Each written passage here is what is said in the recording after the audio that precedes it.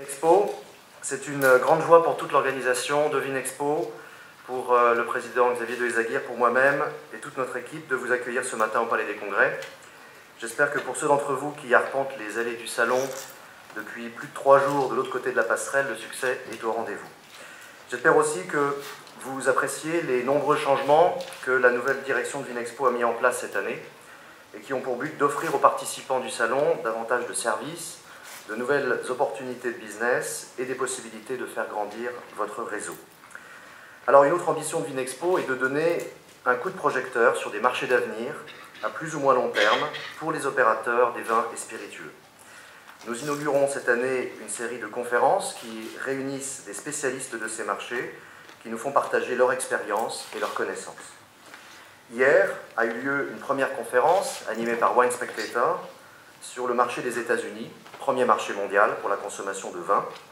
Et je vous invite ce matin à nous tourner non pas vers un pays, mais vers un continent tout entier, un continent aux multiples facettes, un continent proche de nos vignobles européens, mais qui garde une grande part de mystère pour les professionnels des vins et spiritueux. Ce continent, c'est donc l'Afrique.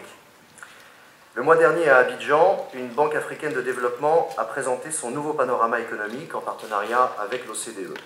Celle-ci table sur une accélération de la croissance en 2015 et 2016 et déjà sur une hausse du PIB de 4,5% en 2015.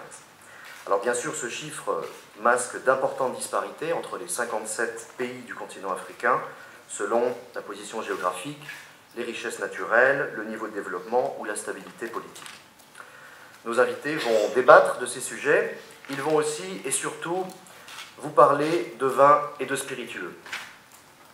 L'idée de, cette conférence est en effet de vous faire découvrir un immense marché d'avenir pour notre filière, mais aussi de donner les clés de ce marché aux opérateurs qui souhaitent se lancer ou renforcer la puissance de leur marque sur le continent africain.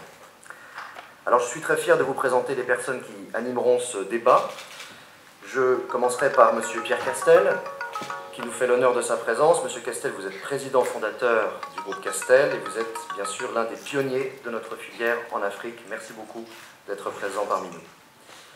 Miguel Chan, chef sommelier du groupe hôtelier Tsogo Sun, qui est ce groupe d'origine sud-africaine, avec 90 établissements dans toute l'Afrique et au Moyen-Orient. Jian Ramatouidi, vous êtes euh, chargé du développement d'Agrotech pour Business France et vous êtes basé au Cameroun, vous couvrez la zone Afrique centrale. Nous accueillons aussi Daniel Mathieu, vous êtes Market Analyst chez IWSR, qui est le partenaire, comme vous le savez, de Vinexpo pour la réalisation des études et la consommation mondiale des vins et spiritueux. C'est vous qui avez été chargé de couvrir le continent africain à la demande de Vinexpo. Enfin, Pierre de Gaëtan Njikam, vous êtes euh, adjoint à la mairie de Bordeaux, chargé des partenariats avec l'Afrique subsaharienne. Merci beaucoup d'être parmi nous. Cette conférence sera modérée par Agnès Cacumor, qui est journaliste à RFI et que je remercie personnellement d'avoir accepté de, de, jouer ce rôle. Enfin, j'invite euh, ceux qui le désirent à se retrouver à l'issue de cette conférence